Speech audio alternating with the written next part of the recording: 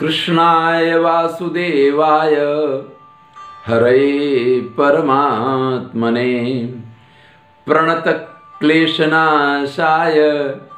गोविंदाय नमो नमः। नमस्कार मित्रों, मैं हूँ डॉक्टर हरिनिवास। चैनल का नाम है संस्कृत साहित्य एवं संस्कृति। और आज मैं आपके सम्मुख प्रस्तुत कर रहा हूँ रघुवंश महाकाव्य, महाकवि कालिदास का। तो महाकवि कालिदास जिस प्रकार से मंगलाचरण करते हैं, हम उस मंगलाचरण को देखते हैं। वागरथा विवसम प्रक्तो वागरथ प्रतिपत्त, जगत पितरौ वंदे पार्वती परमेश्वरो। वाणी और अर्थ की तरह जो एक दूसरे के साथ संपृक्त हैं, मिले हुए हैं। वाग अर्थ प्रतिपत्ति। वाणी और अर्थ के समान ही जो एक दूसरे के पूरक हैं। ऐसे जगत के माता पिता पार्वती और परमेश्वर, शिव को मैं वंदना करता हूँ, मैं उनको प्रणाम करता हूँ। इस प्रकार से, शैव मतानुयायी महाकवि कालिदास अपना मंगलाचरण प्रस्तुत करते हैं। श्लोक बड़ा ही प्रचलित है। उत्तम उपमा अलंकार जिसके लिए कालिदास जाने जाते हैं, वो यहाँ पे प्रस्तुत किया गया है। यहाँ पे मेरी कुछ याददाश्तें जुड़ी हुई हैं। देखिए, मैं जब इंटरव्यू के लिए, साक्षात्कार के लिए गया। तो मुझसे ये पूछा गया कि भाई, कोई एक श्लोक सुनाओ। इंटरव्यू देना ये कला होती है। कभी इस संदर्भ की चर्चा ज़रूर करूँगा। विद्यार्थियों के लिए बड़ा उपयोगी रहेगा इसलिए। तो मुझसे कहा तो मैंने यही, ये नहीं सोचा कि रघुवंश का पहला श्लोक में सुनाऊँगा। छोटा सा श्लोक है, अनुष्टुप छंद है तो क्या असर होगी विद्वानों पे? ना ना ना ना आपको जो उत्तम आता हो, वही आपको सुनाना चाहिए। मैंने ये श्लोक सुना दिया। तो बोले, इसमें जिस प्रकार के शिव पार्वती का वर्णन है, आपने उनके दर्शन किए हैं? भाई, प्रश्न अप्रत्याशित था। ये प्रश्न मैंने सोचा नहीं था। लेकिन अब इंटरव्यू लेने जो लोग बैठे हैं, उन महान भावों से कोई क्या कह सकता है? उस समय तो वही सर्वोपरि होते हैं हैं? तो उन्होंने प्रश्न कर दिया कि आपने ऐसे शिव पार्वती के दर्शन किए हैं। लेकिन हाजिर जवाबी में ऊपर वाले ने बड़ा ही जिसको प्रत्युत्पन्नमति बुद्धि कहते हैं, वो मुझे दी हुई है। तो मैंने कहा कि जहाँ तक शिव और पार्वती के दर्शन का प्रश्न है तो मेरी ख्याल से वो तो किसी ने किए हो ऐसा मुझे मालूम नहीं है। लेकिन चित्र में मैंने ज़रूर अर्ध नारी नटेश्वर को देखा है, जिसमें आधा शरीर शिव का है, आधा शरीर पार्वती का है। मेरे इस जवाब से विद्वान लोग प्रसन्न हुए और उन्होंने उसी इंटरव्यू में मुझे पसंद कर लिया और फिर जो आज मैं संस्कृत का प्रोफेसर हूँ, वो उसमें कहीं ना कहीं इस श्लोक का बड़ा योगदान है। तो ये मात्र कालिदास का मंगलाचरण नहीं है, ये मेरे जीवन का भी मंगलाचरण है, ऐसा मैं आपसे कह सकता हूँ। खैर, ये तो थी एक मेरी अपनी याद। लेकिन चूँकि अब तो आप सब आ, मेरे अपने हैं इसलिए आपके साथ कभी कभी इस तरीके की बातें करने में अच्छा लगता है आनंद आता है। कालिदास ने इस प्रकार से मंगलाचरण करने के बाद क्व सूर्य प्रभवो वंश क्व चाल्प विषयामति तितीर्षु दुस्तरम मोहार उड़ुपे नास्मि सागरम। अपनी विषय वस्तु पे आते हैं लेकिन विषय वस्तु पे आने से पहले वो बड़े ही सुंदर ढंग से निदर्शना अलंकार का जो उत्तम उदाहरण माना जाता है, ऐसे श्लोक का प्रयोग करके और अपनी बात शुरू करते हैं कि कहाँ सूर्य से उत्पन्न हुआ यह महान वंश, कहाँ अल्प विषय को ग्रहण कर सकने वाली मेरी बुद्धि। फिर भी मैं इस सूर्य वंश का वर्णन करने का जो प्रयास कर रहा हूँ मेरा ये प्रयास इस प्रकार का है जैसे कोई छोटी सी नाव लेकर के और समुद्र पार करना चाहता हो। भाई, ऐसी असंभव उपमा यहाँ प्रस्तुत की कि निदर्शना अलंकार का उत्तम उदाहरण बन गया। अभी बात खत्म नहीं हुई, इसलिए कालिदास आगे कहते हैं, मंदा कवि यश प्रार्थी गमिष्याम उपहास्यताम प्रांसुलंबे फले लोभात उदबाहु उरिव भाई, वैसे तो मैं मंद बुद्धि हूँ, बहुत होशियार नहीं हूँ। दंत कथाओं पे मत जाइएगा। ये तो विद्वान लोग अपने बारे में इस प्रकार से कहते रहते हैं। और कालिदास ने भी ऐसा कहा, लेकिन इस बात को बहुत विश्वास करने की ज़रूरत नहीं है। ये तो हमें उनकी प्रतिभा से ही मालूम पड़ जाएगा। रघुवंश जैसे पढ़ेंगे, आप तो बहुत कुछ पढ़ चुके तो आपको तो मालूम ही है। लेकिन वो कहते हैं कि मैं मंद बुद्धि, यानी आज जिसको मंद बुद्धि कहते वो मेरा अर्थ नहीं है, कभी अपने लिए कह रहा है कि मैं मंद बुद्धि और फिर भी मैं चाहता क्या हूँ? कवि यशाह प्रार्थी। कवि के यश को मैं चाह रहा हूँ। मेरी स्थिति गमिष्याम उपहास्यताम मुझे मालूम है, मैं हास्य का पात्र ज़रूर से बनने वाला हूँ। कैसे? उपमा कालिदास जिसके लिए कालिदास जाने जाते हैं। जैसे शिव और पार्वती की उपमा उपमा मंगलाचरण में दी थी, फिर एक सुंदर उपमा देते हैं। प्रांसुलभ्य फले लोभाद, उदबाहु रिव वामना। कोई फल ऊँचा लगा हो और कोई वामन छोटे कद का व्यक्ति और बार बार कूद करके उस फल को तोड़ने की कोशिश कर रहा हो, भैया उसको मालूम ही नहीं है कि ये मेरी रेंज से बाहर की चीज़ है, मेरी पहुँच से बाहर की चीज़ है। मैं ऐसा ना करूँ, लेकिन जो लोग खड़े होंगे, वो अवश्य ही इस चीज़ पे उसके, उसको देख करके हँसते हैं। उसी प्रकार से मैं हास्यास्पद बनने वाला हूँ, ऐसा कालिदास कहते हैं। फिर कहते हैं, अथवा कृतवाग द्वारे वंशेस्मिन पूर्व सूर्य भी मणो वज्र समुत्कीर्णे सूत्र से वास्ति में गति। नहीं नहीं नहीं, वैसे एक बात है कि मुझे इसमें बहुत चिंता करने की ज़रूरत नहीं है, क्योंकि पूर्व सूर्य भी जो प्राचीन मुझसे पहले के विद्वान हो गए हैं, उन्होंने कृतवाग द्वारे वंशेस्मिन इस वंश का वर्णन करके और बड़ा ही सुंदर वर्णन करके इस वंश वर्णन का जो मार्ग है वो खोल दिया है। ऐसे में फिर एक उपमा, जैसे वज्र समुत्कीर्ण सूत्रे सेवास्ति में गति मणि में पहले से ही किसी वज्र जैसे साधन से छेद कर दिया गया हो। और उस मणि में, उस मोती में डोरी डालनी हो तो भैया वो तो कोई भी डाल सकता है। तो ये कार्य मैं करने में सफल हो जाऊँगा। ऐसा मुझे इसलिए लग रहा है क्योंकि मुझसे पूर्ववर्ती आचार्यों ने, विद्वानों ने, कवियों ने बहुत सारी इसके बारे में चर्चा की है। इसलिए अब आगे मैं उसी चर्चा में, जैसे कि मोती में खाली दोरा डालने वाला काम हो, इस प्रकार से मैं अवश्य इस काम को कर पाऊँगा। सोहमा जन्म शुद्धा नाम आफलोदय कर्मणाम आसमुद्र क्षितिशानाम आनाक रथ वर्तमनाम वह में, कैसा? मंदा कवि ऐसा प्रार्थी वगैरह जो अपनी बात की, ऐसा मैं, आजन्म शुद्धा नाम, जन्म से ही जो शुद्ध है। आफलोदय कर्मणाम, फल सिद्धि तक जो कभी भी कर्म से विरत नहीं होते हैं। कर्म में संलग्न रहते हैं। देखिए, उत्तम व्यक्तियों के गुण धर्मों में ये सबसे बड़ी चीज़ है। आप कार्य शुरू करने के बाद अगर बीच में कार्य को छोड़ देते हैं तो आप बड़े सामान्य कक्षा के व्यक्ति हैं। लेकिन कितनी भी मुश्किलें आए, भले ही समुद्र मंथन में से विष निकले, लेकिन अगर समुद्र मंथन बंद नहीं किया जाता है तो ही अमृत की प्राप्ति होती है।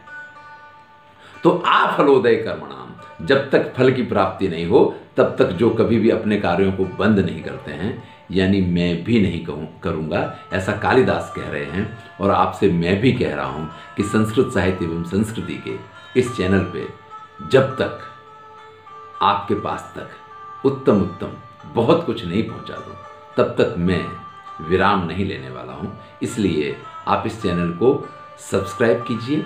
ये चैनल परीक्षा लक्ष्य तैयारियों के लिए बिल्कुल नहीं है। हाँ ये बात अलग है कि अगर आप इसको सुनेंगे तो परीक्षा लक्ष्य तैयारियाँ अपने आप हो जाएँगी। ये चैनल पे अगर आप हैं तो ये निश्चित है कि संस्कृत साहित्य एवं संस्कृति के सारे विषयों से विस्तृत रूप से आप अवगत होंगे। आपने ग्रंथ को नहीं पढ़ा है तो भी ग्रंथ को पढ़ने से जो विद्वत्ता आपको मिलने वाली है, वो विद्वत्ता आपको मिले, ये मेरा प्रयास रहेगा। तो जब तक फल की सिद्धि ना हो, फल पूर्ण ना हो, तब तक जो कार्य करने में रत रहते थे।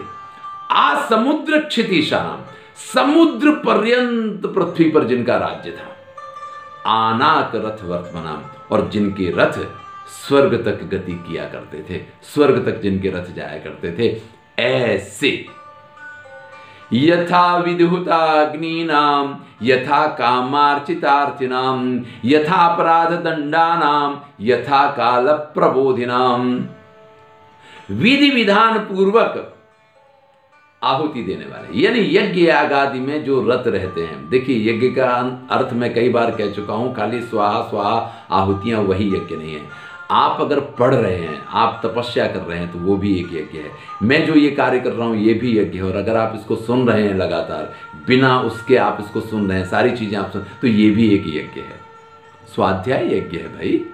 तो यथा विधि नाम यथा कामार्चितार्थी नाम अगर कोई याचक आ जाए तो उसको जितना चाहिए, उतना देने वाले। ये नहीं कि मेरे पास तो इतना ही इतना ही दूँगा भाई।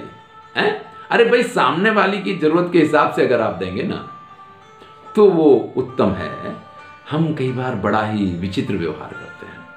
एक घटनाक्रम मैं आपको बताऊँ कि एक प्यून के यहाँ एक शादी हुई उसकी पुत्री की। तो उस शादी में जब पूरे स्टाफ को ये कहा गया कि आपको इस शादी में कुछ कंट्रीब्यूट करना चाहिए। कंट्रीब्यूट यानी उसको व्यवहार के तौर पे कुछ देना चाहिए।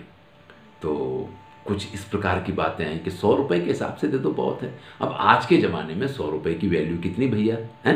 क्योंकि उसके यहाँ से आमंत्रण नहीं था, उसके यहाँ खाने नहीं जाना था, इसलिए सौ सौ रुपए देने वाली बात हुई। इसी प्रकार से किसी एक अन्य व्यक्ति के यहाँ जो कि जिसने खाने का आमंत्रण दिया था, उसको जब व्यवहार करने का नंबर आया तो उसको पाँच पाँच सौ रुपये का व्यवहार किया जा रहा है। तो मुझे ये समझ में नहीं आया वास्तव में जिसको पाँच पाँच सौ रुपये का व्यवहार किया जा रहा है, उसको व्यवहार की ज़रूरत है क्या? वो समृद्ध है, सुखी है, उसके पास सब कुछ है। आपके पाँच पाँच सौ रुपये देने, ना देने से उसको तो कोई फ़र्क नहीं पड़ने वाला। लेकिन अगर इस व्यक्ति को जो सेवक है, जिसको वास्तव में इस पैसे की ज़रूरत है, उसको अगर आप इस तरीके से दें, लेकिन नहीं, समाज ऐसे सोचता ही नहीं है। समाज ये सोचता है, मुझे कितना वापस मिलेगा उतना। नहीं, ये सूर्यवंशी राजा जो हैं, वो जो मांगने आता है, उसकी जो अपेक्षाएँ हैं, वो अपेक्षाएँ पूर्ण कर हो, इस प्रकार से उनको दान दिया करते थे। यथा अपराध दंडा नाम जो जैसा अपराधी हो, उसको उसी प्रकार से दंड दिया जाता था। यथा काल प्रबोधि नाम और उचित समय पे जागने वाले। यहाँ सुबह सो के उठने से जागने का मतलब नहीं है। भाई, कोई भी कार्य आपको करना हो, उस कार्य के लिए आपके पास जो प्रकृति है, या जो डेस्टिनी है, जिसको आप विधि का विधान कहते हैं, या जिसको आप भाग्य कहते हैं, वो एक अवसर आपको उत्तम अवसर ज़रूर देता है। कोई भी कार्य आप प्रारंभ करें, उसको सफल बनाने के लिए विधाता आपको एक अवसर ज़रूर देता है, लेकिन अगर वो अवसर हम चूक जाते हैं चाहे वो सोने में घुमा दें, चाहे बेहोशी में घुमा दें, या अपने किसी अन्य कार्य में लगे रहें और हम उस चीज़ को भूल जाएँ तो समझ लीजिए कि वो समय चला जाता है। और फिर हम कहते हैं, अरे यार, मौका तो बड़ा अच्छा था, लेकिन मैं चूक गया। ये सूर्यवंशी राजा कभी चूकते नहीं हैं। ये यथा समय जागृत रहते हैं, हमेशा सावधान रहते हैं।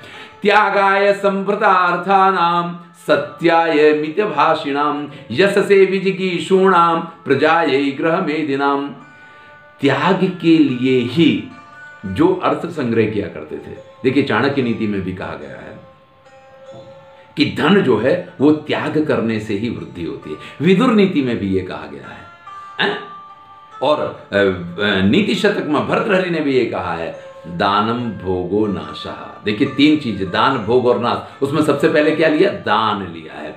त्यागाय संभृतार्थानाम सत्याय मित भाषिणम कम बोला करते थे, लेकिन इसलिए नहीं कि उनको बोलना नहीं आता था, है?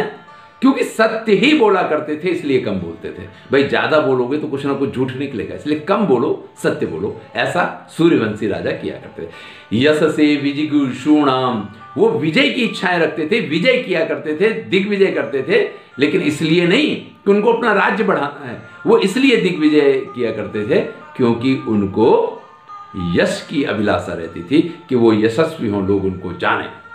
प्रजा ये ग्रह में दिनाम और जो गृहस्थ धर्म इसलिए ग्रहण किया करते थे, क्योंकि संतान उत्पन्न हो। गृहस्थ धर्म विवाह इसलिए नहीं करते थे कि बड़ा आनंद करना है। वो विवाह इसलिए करते थे क्योंकि संतान तो वैवाहिक काल के बाद ही होती है। शैशवेभ्यस्त विद्यानाम, यौवने वार्धक्य मुनिवृत्ति नाम योगे नान्ते तनुम त्यजाम। देखिए, यहाँ के सारे श्लोक आपके सामने इसलिए प्रस्तुत कर रहा हूँ क्योंकि सूर्यवंशी राजाओं का वर्णन है। सूर्यवंशी सभी राजाओं की विशेषताएँ इसमें आ जाएँगी, चाहे वो मनु हो, चाहे दिलीप हो, चाहे रघु हो, चाहे अज हो। अब ये सारी चीज़ें तो सब में, ये क्वालिटी क्या है? ये तो परमानेंट है, जो सभी राजाओं में पाई जाएगी। बाकी उनकी अपनी जो विशेषताएँ हैं, वो उनके चरित्र के साथ उस टाइम पे देखेंगे। बाल्यकाल्य में जो विद्याओं का अभ्यास किया करते थे शैशवे भ्यस्त विद्या नाम। बाल काल में ये नहीं कि जब बुढ़े हो गए तब समझ में आया कि अरे यार, अगर पढ़ लिया होता तो अच्छा था, और फिर एडमिशन ले रहे हैं, फिर पढ़ना शुरू करें। ना ना ना, यहाँ तो बाल्यावस्था में ही विद्याओं का ज्ञान प्राप्त कर लिया करते थे। और यौवा, यौवने युवावस्था में जो विषयों का उपभोग करते थे। देखिए, हमारे धर्म, अर्थ, काम, मोक्ष, ये चार पुरुषार्थ हैं। जो चारों पुरुषार्थों में से पहले तीन पुरुषार्थों में सफल होता है ना, वही मोक्ष रूपी चतुर्थ पुरुषार्थ प्राप्त कर सकता है। खैर, फिर कभी इसकी चर्चा करेंगे। जिनकी युवावस्था विषयों के उपभोग में जाया करती थी, वार्धक की मुनिवृत्ति नाम वृद्ध होते ही जो मुनियों की तरह, ऋषियों की तरह वन में जाकर के और निवास किया करते थे और अंत में योग द्वारा जो अपने शरीर को त्याग किया करते थे, ऐसे महान सूर्यवंशी राजा राजाओं के कुल का मैं वर्णन करने वाला हूँ। रघुणाम अन्वयम वक्षे, ऐसे रघुवंशियों का मैं अन्वयम उनके कुल की परंपरा का मैं वर्णन कर रहा हूँ। तनु वाग विभवो पिसन फिर उसी बात को याद करते हैं कि मेरा तनु ये जो वाग वैभव है, मेरा जो वाणी या मेरी जो विद्वत्ता है, वो तनु यानी छोटी है। मेरे पास बहुत बुद्धि नहीं है, मैं बहुत बड़ा कवि नहीं हूँ मंदा कवि ऐसा प्रार्थी जो आगे कहा था, उसी बात को फिर से याद दिला रहे हैं कि मेरा वाग वैभव कम होने के बाद भी इस प्रकार के रघुवंशियों का, जिनका वर्णन पिछले कुछ श्लोकों में किया गया, उनके वंश का वर्णन में करने जा रहा हूँ। तदगुण ही कर्ण आगत्य चाप लाए प्रचोदिता। अरे भैया, नहीं है बुद्धि तो क्यों करने जा रहे हो? तो कालिदास उसका कारण बता रहे हैं, क्योंकि उनके गुणों ने मेरे कानों के अंदर प्रवेश करने के बाद मुझे ये काम करने के लिए मजबूर कर दिया। इतने उत्तम गुण हैं उनके, इतम, इतने उत्तम गुणशाली हैं ये सारे सूर्यवंशी राजा कि अगर मैं उनका वर्णन ना करूँ तो इस दुनिया में मेरे लिए करने जैसा और कोई काम है ही नहीं। मुझे ये लगता है कि ये कार्य तो मुझे करना ही पड़ेगा और इसलिए चाप लाए प्रचोदिता। ये चंचलता करने के लिए उन्होंने, उनके गुणों ने मुझे प्रवृत्त किया है, इसलिए ये कार्य मैं कर रहा हूँ। आगे कहते हैं, तम संता श्रोतुमर्हन्ति सद सद व्यक्ति हेतव, हेमना संलक्ष्यते यज्ञ विशुद्धि श्याम का पिवा तो विद्वान लोग, महाकवि कालिदास कहते हैं, विद्वान लोग इसको अवश्य स्रोत मरहंती देखिए, मैंने कहा श्रव्य काव्य है, अवश्य ही इसको सुनेंगे। सद असद व्यक्ति हेतु तो क्योंकि वही क्या उत्तम है और क्या अनुत्तम है, इसकी व्याख्या वही कर सकते हैं। क्योंकि अगर सोने की विशुद्धि को जांचना हो सोना शुद्ध है या अशुद्ध है, उसको जांचना हो तो उसको अग्नि में डालना ही पड़ता है। चाहे वो अग्नि में डालने के बाद काला ही क्यों ना हो जाए, फिर उसको साफ़ कर दिया जाएगा। लेकिन उसकी शुद्धता को अगर जांचना है तो एक बार तो अग्नि में डाला ही जाएगा। हाँ अग्नि में पड़ने के बाद जो उसका रंग वास्तव में मालूम पड़ता है, उसी से ये चीज़ मालूम पड़ती है कि सोना कितना शुद्ध है। तो जो विद्वान लोग हैं, जो मेरे परीक्षक हैं वो सुनार की तरह काम करेंगे और उनके कानों में पहुँचने के बाद ही मेरा ये ग्रंथ कैसा है, अब तो हम आप जानते हैं कि सर्वश्रेष्ठ महाकाव्य के रूप में जिसको स्थान प्राप्त है, कालिदास बड़े ही विद्वान हैं, फिर भी उन्होंने इस तरीके से अपनी बात प्रस्तुत की है। यहाँ से श्लोक नंबर ग्यारह आता है और यहाँ से रघुवंश जो है, सूर्यवंश जिसको कहें, उसका वर्णन शुरू करते हैं। कहते हैं वैवस्वतो मनुरनाम माननीयो मनीषिणाम, आसीन महीक्षिताम आद्या प्रणव छंद सामिव भाई अगर आपको पूरा वर्णन जानना है तो आप देख सकते हैं, मेरी प्लेलिस्ट महाभारत में भी महर्षि कश्यप की संतानों का वर्णन है, किस प्रकार से सूर्यवंश का प्रारंभ हुआ है, विस्तार से आप वहाँ देख सकते हैं। आप वाल्मीकि रामायण में भी जाकर के, भगवान राम के विवाह के समय पे महर्षि वशिष्ठ ने उनका शाखोच्चार किया है। उनका शाखोच्चार शाखोच्चार का मतलब उनके पूर्वजों का वर्णन किया है। उसमें भी आप ये प्रारंभिक, देखिए महर्षि वाल्मीकि ने शाखोच्चार में जिन वंश, जिस वंशावली को रखा है, यहाँ वो वंशावली उस तरीके से नहीं पाई जाती है, उसमें परिवर्तन है। लेकिन फिर भी जो पूर्वज हैं, प्रारंभिक जो काल है, वो एक समान कि कश्यप के यहाँ आदित्य का जन्म हुआ, विवस्वान का जन्म हुआ, सूर्य जिनको हम कहते हैं, और उनसे वैवस्वत दो पुत्र हुए, मनु और यमराज। यमराज को भी वैवस्वत कहा जाता है और मनु को भी वैवस्वत कहा जाता है। तो उनसे मनु का जन्म हुआ, जो मनीषियों में माननीय थे। इन मनु की संतान होने के कारण ही हम सब मानव के रूप में जाने जाते हैं। मानवीय सृष्टि जो कही जाती है क्योंकि हम मनु की संतान है, इसीलिए हमें मानव कहा जाता है। तो मनीषियों में जो माननीय, ऐसे मनु का जन्म विवस्वान के यहाँ हुआ।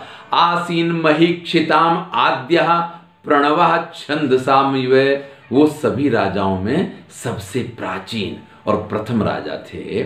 जैसे सभी प्रकार के छंदों में प्रणव, ओंकार जो है वो प्रथम है। देखिए, यहाँ पे उपमा कालिदास से विख्यात है। यहाँ पे भी फिर से एक सुंदर उपमा का प्रयोग करते हैं। तदन्वय शुद्धिमति प्रसूता, शुद्धिमत्तर, दिलीप इति राजेंदु इंदु क्षीर निधा भाई, उन्हीं के वंश में पूरा वर्णन नहीं किया है कि उसके बाद कौन हुए कौन हुए, पर ये कहते हैं कि उन्हीं मनु के वंश में शुद्धिमती शुद्धिमत रहा दिलीप प्रसूत। अत्यंत शुद्ध बुद्धि वाले पवित्र जैसे आ, समुद्र में से चंद्रमा जो चौदह रत्न प्रकट हुए उनमें चंद्रमा भी था। जैसे समुद्र में से चंद्रमा का जन्म हुआ ऐसे इस कुल में महाराज दिलीप का जन्म हुआ है। देखिए यहाँ से महाराज दिलीप के व्यक्तित्व का वर्णन शुरू कर रहे हैं और कोई भी उत्तम जिसको आप आज की भाषा में हैंडसम कह सकें, या जिसको मिस्टर इंडिया या जो भी स्पर्धाएँ होती हैं, उनमें जो अपना स्थान प्राप्त कर सके उसका शारीरिक सौष्ठव कैसा होना चाहिए। यहाँ महाकवि कालिदास आज से 2000 वर्ष पहले महाराज दिलीप के शारीरिक सौष्ठव का वर्णन करते हुए क्या कहते हैं? व्यूढ़ो रसको वृषस्कंधा शाल महाभुजा आत्मकर्म क्षमम देहम क्षात्रो धर्म इवाश्रिता। व्यूढ़ो रस को जिसकी छाती चौड़ी है, वृषस्कंधा, वृष। शाण कहते हैं, गुजराती में आखला कहते हैं, बैल की तरह जिसके कंधे मज़बूत। धुरी धारण कर सके, ऐसे मज़बूत कंधों वाला। साल प्रांसुर महाभुजा, जैसे साल वृक्ष की डालियाँ हो ना, ऐसी सीधी और लंबी हैं भुजाएँ जिनकी। देखिए, भुजाओं की बात जो है, हमारे यहाँ ये बड़ा ही उत्तम एक गुण कहा गया है कि अजानुबाहु, ज़्यादातर लोगों के हाथ उनकी कमर तक ही पहुँचते हैं। अगर हाथ आप सीधे नीचे लटका रहे हैं और आपके हाथ आप सीधे खड़े हैं और आपकी कमर से नीचे आपकी जंघाओं तक पहुँचते हैं, यानी आपके हाथ आपके शरीर के प्रमाण में थोड़े ज़्यादा लंबे हैं तो आप परम तेजस्वी, परम प्रतापी होंगे। भगवान राम भी अजानुबाहु थे और वर्तमान काल में महात्मा गांधी भी इस तरीके से उनके हाथ लंबे थे। आप चित्रों में भी देखेंगे तो भी आपको इस चीज़ का एहसास होगा कि उनके हाथ आपको लंबे दिखाई देते हैं। यहाँ पे महाराज दिलीप के वर्णन में कालिदास कहते हैं कि शाल प्रांशुर महाभुजा, शाल की तरह लंबी हैं जिनकी भुजाएँ आत्मकर्म क्षमम देहम। जो उत्तम कार्य हैं, उनको आत्मकर्म अपने लिए, नहीं नहीं नहीं, क्षत्रिय राजा तो अपने लिए कहाँ जीता है? क्षात्रो धर्म ही वासता। साक्षात क्षत्रिय धर्म ही उपस्थित हो इस प्रकार से अपने कर्मों में जिनका सक्षम शरीर है। कई बार क्या होता है कि लोग दूसरों की सेवा ही लेते रहते हैं। हैं? उठने बैठने में तो ठीक है। चलो मेरा ये काम कर दो, मेरा वो काम कर दो। ये उत्तम गुण नहीं है। राजा होकर के तो चारों तरफ़ आपके सेवक बने रहेंगे। ऐसे में आप हर बात में ये करो, वो करो। नहीं, ये महाराज दिलीप जो हैं, अपने प्रत्येक कार्य को करने में सक्षम, ऐसे साक्षात क्षत्रिय धर्म उपस्थित हो, इस प्रकार के ये महाराज हुए। आगे वर्णन करते हैं महाराज दिलीप का और कहते हैं, सर्वातिरिक्त शारेण सर्व तेजो भी भाविना स्थिता सर्वोन्नतेनोर्वी क्रांता मेरुरिवात्मना। ये महाराज दिलीप जो है, सर्वातिरिक्त सारेण सभी लोगों में जो शक्ति हो, उससे कुछ अतिरिक्त extra energy extra power extra शक्ति, अधिक शक्ति इनके पास थी।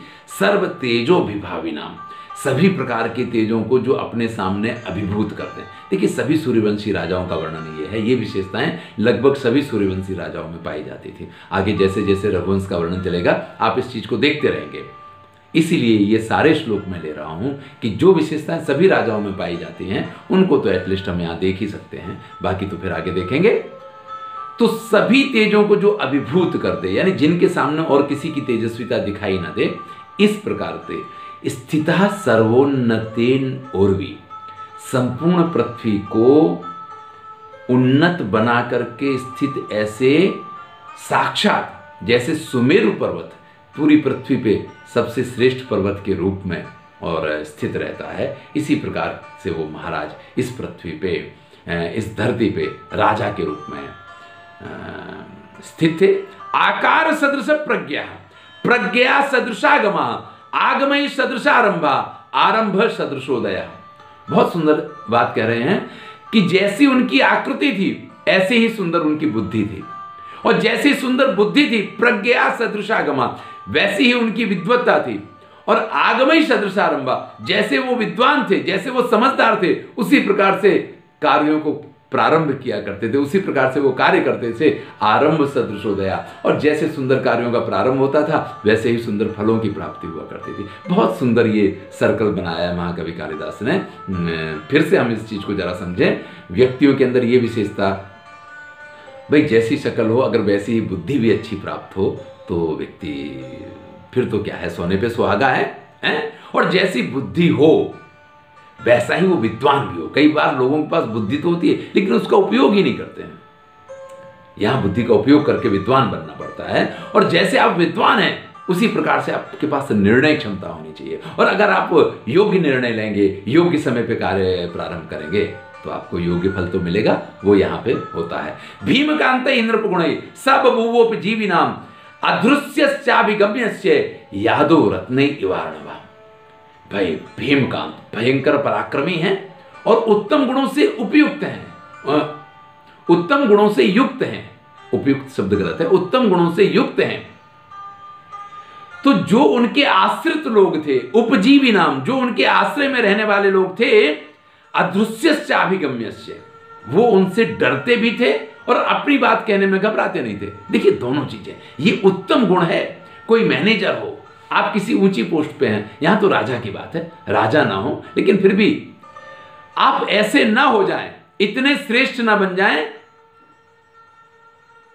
बड़ा हुआ तो क्या हुआ, जैसे पेड़ खजूर, ऐसे नहीं हो जाइए कि कोई आपसे बात ही ना कर पाए, अपनी बात आपसे कह ही ना पाए।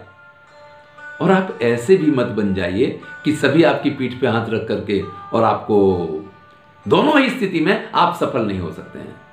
महाकवि कालिदास मैनेजमेंट की सुंदर बात यहाँ महाकवि, अरे, महाराज दिलीप के वर्णन के बहाने से करते हैं कि वो ऐसे उत्तम थे कि जिसको अपनी बात कहनी वो कह भी सकता था, इतने कोमल थे और इतने कठिन भी थे कि हर एक व्यक्ति उनके सामने जाकर के धृष्टता करने की कोशिश नहीं करता था। रेखा मात्र मपिक्षुण्यात आमनोवर्तमन परम। वृत्तया। भाई महाराज दिलीप ने जो नियम निर्धारित कर दिए, प्रजा उन्हीं नियमों का पालन किया करती थी। देखिए, पुराने समय में ऐसे पक्के रोड नहीं हुआ करते थे, कच्चे रास्ते होते थे और कच्चे रास्ते में जब वाहन चलते थे तो वहाँ लीक बन जाती थी। उसको हम कहते हैं लकीर के फकीर जो कहा जाता है ना तो बैलगाड़ी, उस समय तो कुछ भैंसे पाड़े जोड़ के भी गाड़ियाँ चलाई जाती थी। तो उन लोगों को चलाने वाले कई बार चालक जो हैं वो सो जाया करते थे और फिर भी उस लीक पे वो लोग चलते रहते थे और जहाँ आपको जाना वहाँ पहुँचा दिया करते थे। इसीलिए हमें कई बार एक प्रचलित वाक्य कि लोग लकीर के फकीर, लकीर को इस तरीके से चलने लग जाते हैं कि नई जगह पे या नया कोई चीला शुरू करने की कोशिश नहीं करते हैं, क्योंकि महाराज दिलीप ने ये किया है। उन्होंने ये कहा कि जिस प्रकार से लकीर पे ही, इस प्रकार से उन्होंने जो जो नियम बनाए थे, लोग उन नियमों के अंदर ही रहा करते थे। एक सुंदर नियंतुम नैन वृत्तया, जैसे पूरे रथ के पहिए को उसके ऊपर चढ़ी हुई लोहे की निमी बाँध के रखती है, उसको फैलने नहीं देती है। ऐसे ही प्रजा उनके साथ बंधी रहती थी, उनके नियमों से बंधी रहती थी। प्रजानामेव भूत्यर्थम सताभ्यो बलिमग्रहित सहस्त्र गुण उत्सृष्टुम आदत्य ही रसम रवि। भाई, जैसे सूर्य ज़मीन में से जल को वाष्पीकरण करके खींचता है, फिर हज़ार गुना करके उसको बरसाता है, उसी प्रकार से ये महाराज भी लोगों के पास से कर वगैरह लिया करते थे भाई। राज्य चलाना है तो प्रजा से टैक्स तो लेना पड़ेगा। लिया करते थे, बलिम अग्रहित। पर इसलिए नहीं कि अपना घर भरना है। इसलिए भी नहीं कि उनका अपना कोई स्वार्थ है। प्रजा के कल्याण के लिए ही सहस्त्र गुणा होकर के वो वापस प्रजा को मिले। इस प्रकार से ये व्यवहार किया जाता था। आगे कहते हैं, सेना परिच्छदस्त द्वयमेवार्थ साधनम। शास्त्रेस्व अकुंठिता बुद्धि। मौरवी धनुषी चाहता बड़ा ही सुंदर बात कही है कि उनके पास बड़ी सेना थी, लेकिन वो तो खाली सो। उसकी ज़रूरत ही नहीं पड़ती थी, क्योंकि उनके लिए अर्थ साधन के दो ही कारण थे। एक, शास्त्रों में अकुंठित बुद्धि, शास्त्रों में संलग्न बुद्धि, और धनुष पे चढ़ी हुई उनकी प्रत्यंचा। ये दो चीज़ें उनके पास ऐसी थी कि कभी भी वो कोई निर्णय लेते थे, वो गलत नहीं होता था, ये उनकी बुद्धि का काम था। और धनुष पे जब बाण चढ़ा लें तो फिर किसी सेना की मदद की ज़रूरत नहीं है। वो अकेले ही सब पे भारी थे। तस्य संवृत मंत्र से गूढ़ा कारेंगित फलानुमेया प्रारंभा, संस्कारा प्रार्थना इव। कार्यों के संदर्भ में महाराज दिलीप की विशेषता बताते हुए कहते हैं कि कार्य करने से पहले लोग नहीं जान पाते थे। देखिए, चाणक्य ने बहुत कहा इस चीज़ पे, बहुत भार दिया है। कि आप कार्य को गाइए नहीं, कार्य को करिए। जब उसके फल की प्राप्ति होगी तो लोग अपने आप समझ जाएँगे कितना महान कार्य है। तो महाराज दिलीप भी जब कार्य शुरू करते थे तो लोगों को मालूम भी नहीं पड़ता था, उनकी मंत्रणा भी नहीं होती थी, और जब कार्य में सफलता मिल जाती उनके फल से ही जाना जाता था कि उन्होंने क्या कार्य शुरू किया है। और कुछ उत्तम श्लोक देख करके इस सर्ग को, इस सर्ग की कथानक आपसे कह करके इसको पूरा करेंगे। ज्ञाने मौनम क्षमा सकते। हो त्यागे श्लाघ्या विपर्य गुणा गुणानुबंधित्वाद तस्य प्रसवो इव। ज्ञान होने पर भी मौन, शक्ति होने पर भी क्षमा, त्यागशील होने पे भी आत्म प्रशंसा से दूर। इस प्रकार से एक गुण का विरोधी जो गुण था, वो सारे गुण उनमें एक साथ जन्म लेकर के रहते हों। इस प्रकार से महान गुणधारी महाराज दिलीप थे। प्रजानाम विनयादानात रक्षणाद भरणाद अपनी सा पिता पितरस्तासाम केवलम जन्म हेतु देखिए, राजा की जवाबदारी कितनी होती है?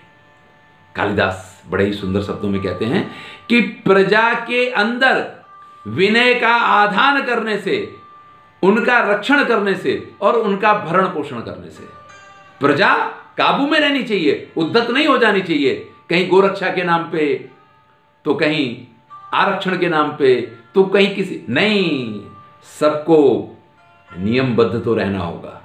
अगर नहीं रहते हैं तो दंड के अधिकारी हैं। राजा को चाहिए कि उनको दंड दे।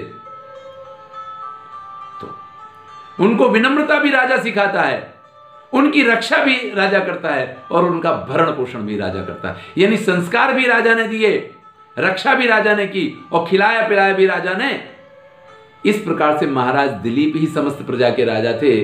उनके जो अपने पिता थे, उनके जो अपने पिता थे, वो तो जन्म देने, जन्म दिया इसलिए वो पिता का पद था उनका। बाकी तो वास्तव में समस्त प्रजा के पिता महाराज दिलीप थे। द्वेश्योपि सम्मता शिष्ट तस्यार तस्य यथौषधम। त्याज्यो दुष्टा प्रियोप्यासित अंगुली वो रगक्षता। भाई उंगली में सर्प ने काट लिया हो तो विष फैलने की राह ना देखें। उस उंगली को जैसे काट देने से जीवन बच जाता है। जैसे कड़वी होने पे भी दवा जो है, वो खानी पड़ती है, क्योंकि रोगी व्यक्ति है, कड़वी दवा खा के वो अगर ठीक हो सकता है तो हुआ जाता है। ऐसे जो द्वेषी लोग थे, वो भी राजा का द्वेष नहीं करते थे। वो भी राजा दिलीप के साथ सम्मत हुआ करते थे। ऐसे महाराज दिलीप की पत्नी सुदक्षिणा थी।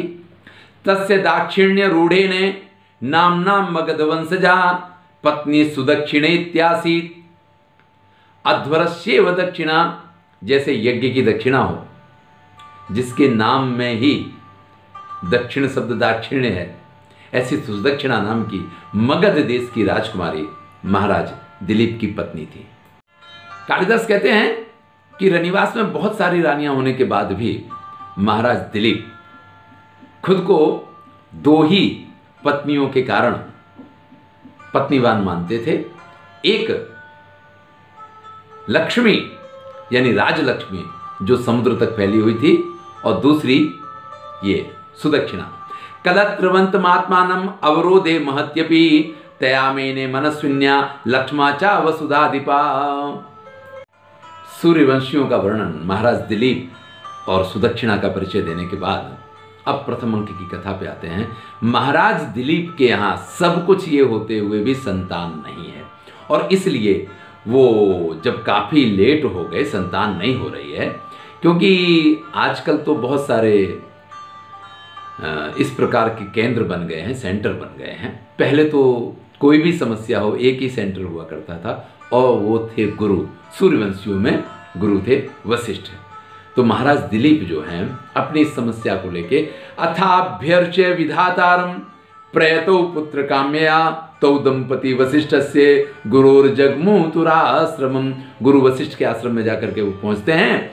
स्निग्ध गंभीर निर्घोषम एकम चंदनम मास्थित प्रावृषण्य पयोवाहा विद्युत ऐरावता विवाह भाई एक सुंदर रथ पे बैठ के जो जिसका घोष जिसका आवाज़, आज भी देखिए विविध प्रकार के जो वाहन हैं, वो अपनी आवाज़ से पहचाने जाते हैं। बुलेट जो है, एक जो टू व्हीलर है, वो अपनी आवाज़ के लिए ही इतना लोकप्रिय है, क्योंकि उसकी एक स्पेशल आवाज़ है। तो इस प्रकार से राजा के रथ की जो निर्घोषम एकम चंदन आस्थिता जो जोरदार आवाज़ करता है, विशिष्ट आवाज़ करता है, स्निग्ध गंभीर। स्निग्ध भी और गंभीर भी है। इस प्रकार के रथ पे बैठ करके महाराज दिलीप और सुदक्षिणा वहाँ पहुँचते हैं जाकर के। गुरु वशिष्ठ के आश्रम में रास्ते का पूरा वर्णन किया है। उनके रथ के चलने से उसकी आवाज़ को सुन करके जैसे मेघ गर्जना कर रहे हों, ऐसा लगने लग जाता है। इसलिए मोर भी बोलने लग जाते हैं। इस प्रकार से बहुत सारा महाकवि कालिदास तो प्रकृति को मानवीय बना दिया करते हैं और आपके साथ साथ प्रकृति भी जीवित, जीवंत रहती है। और अनुकूल पवन की बात करते हुए, पशु पक्षियों की बात करते हुए महाराज दिलीप जो है, मालूम भी नहीं पड़ा कि कब वो गुरु वशिष्ठ के आश्रम में पहुँच गए हैं।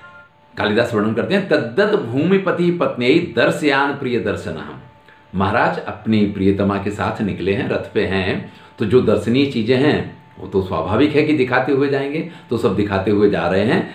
अपि लंघित अध्वानम बुबुधे ना बुधोपमा। तो ये मार्ग, ये जो, भाई यात्रा तो कोई भी हो, कठिन होती है, वो कब व्यतीत हो गया, पता भी नहीं चला। स दुष्प्राप यशा प्रापदात श्रमम शांत वाहन। सायं संयमिनस्त महर्षेर महिषी सखा। अपनी महारानी के साथ संध्या काल पे वो महर्षि वशिष्ठ के आश्रम में जाकर के पहुँच जाते हैं। महाकवि कालिदास वर्णनों में तो बड़े ही चित्रात्मक वर्णन करते हैं। आश्रम का बहुत सुंदर वर्णन किया है। महाराज दिलीप ने वहाँ पहुँच करके पहले सुदक्षिणा को नीचे उतारा है, फिर स्वयं रथ से नीचे उतरे हैं। देखिए, ये बड़ी ही ज्ञान की चीज़ है। कई बार ऐसा होता है कि ट्रेन में चढ़ने जाएँ व्यक्ति चढ़ जाता, फिर पत्नी को चढ़ाता, तब तक ट्रेन जल्दी पत्नी नीचे रह गई।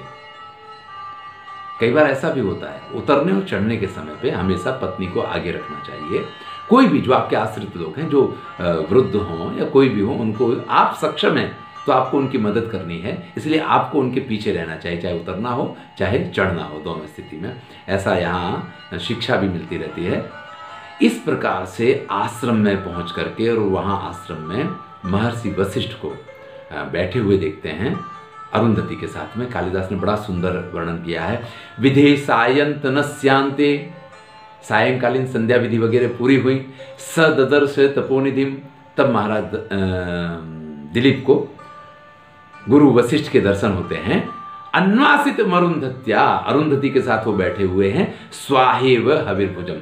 जैसे स्वयं अग्निदेव स्वाहा के साथ बैठे हों, इस प्रकार से महाराज उनके दर्शन करते हैं, उनके पैर छूते हैं, और उनके पैर छूने के बाद महाराज वशिष्ठ पूरे विधि विधान पूर्वक उनका आतिथ्य सत्कार करते हैं और उनसे आने का कारण पूछते हैं। महाराज दिलीप भी गुरु वशिष्ठ के बीच पूछे हुए सभी प्रश्नों के जवाब देते हैं कि आपकी मंत्र शक्ति जहाँ काम करती हो, वहाँ किसी भी प्रकार का अमंगल तो हो ही नहीं सकता है। सब कुछ कुशल है, सारी चीज़ें अच्छी हैं। जैसे आपने मार्गदर्शन दिया, उसी प्रकार से सब कुछ उत्तम रूप से चल रहा है। प्रजा, राज्य, राजकाज, सब चीज़ें अच्छी चल रही हैं। लेकिन किंतु बध्वाम तवई तस्याम, अदृष्ट सदृशम प्रजम। लेकिन आपकी जो ये वधु है, इसके यहाँ अदृष्ट सदृशम प्रजम। संतान चाहिए सदृश चाहिए, उत्तम संतान चाहिए, उसके दर्शन ना होने के कारण। ना मामति सद्वीपा रत्न सूरपि मेदिनी। ये पृथ्वी जो है, वो मुझे व्यर्थ प्रतीत होती है, ये मुझे निष्कारण प्रतीत होती है।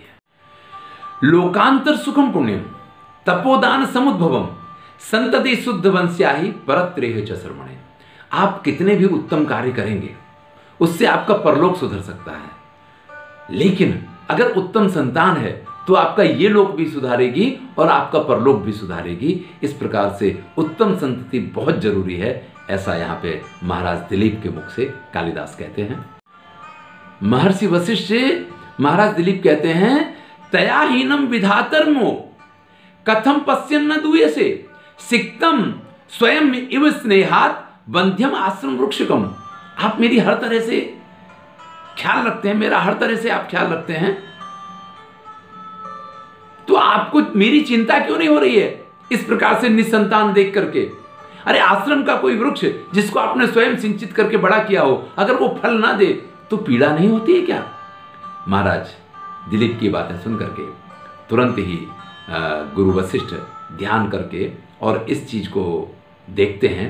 और महाराज दिलीप से कहते हैं इति विज्ञापितो राजा, ध्यानस्तिमित लोचना क्षण मात्र ऋषिस्तस्तो सुप्तमीन इव हृदय जैसे समुद्र में कोई मछली सो जाए ना, इस प्रकार से थोड़ी देर के लिए उन्होंने अपनी आँखें बंद की और फिर उन्होंने महाराज दिलीप को सारी बात बता दी। पुरा शक्रमुपास्थाय तबोर्वीं प्रतियासेदा आसीत कल्प तरुच्छाया माश्रिता सुरभिपति। भाई एक बार की बात है कि आप इंद्र से मिलकर के वापस आ रहे थे और चूँकि आपकी पत्नी ये सुदक्षिणा जो है, ये उस समय रजस्वला थी और आपको ऐसा था कि समय ना बीत जाए और मैं सस समय वहाँ पहुँच जाऊँ, जिससे कि उत्तम संतान की प्राप्ति हो। और ऐसे में मार्ग में कल्प वृक्ष की छाया में बैठी हुई कामधेनु को तुमने देखा नहीं। और इस वजह से कामधेनु को जब तुमने प्रणाम नहीं किया तो उससे क्रोधित होकर के उस कामधेनु ने आपको श्राप दिया है, जिसके कारण आपको संतान नहीं हो रही है। तो उसका उपाय? क्योंकि गुरु जो कारण बता सकता है, वो उपाय भी बता सकता है।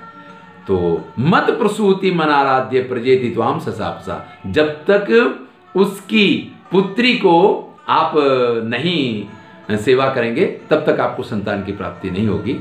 इस प्रकार से ये पहले सर्ग की कथा पूरी होती है। महाराज दिलीप उस गाय की सेवा का निर्णय लेते हैं। बड़ा विस्तार से चल रहा है, लेकिन प्रथम सर्ग था, इसलिए इतना विस्तार है। आगे इस तरीके का विस्तार नहीं होगा, और थोड़ा संक्षेप में ही मैं कोशिश करूँगा कि एक राजा के जीवन परिचय के लिए एक वीडियो बने। इस प्रकार से आपके समक्ष हाँ राम के वर्णन में तो एकाधिक वीडियो आएँगी, आप भी समझ सकते हैं। मैं रघुवंश का वर्णन प्रस्तुत करूँगा। सुनते रहिए। मैंने कहा, परीक्षा लक्ष्य नहीं है, लेकिन विद्वत्ता के लिए बहुत उत्तम है। धन्यवाद। मैं हूँ डॉक्टर श्रीनिवास चैनल का नाम है संस्कृत साहित्य एवं संस्कृति। सब्सक्राइब कीजिए और मित्रों तक पहुँचाइए।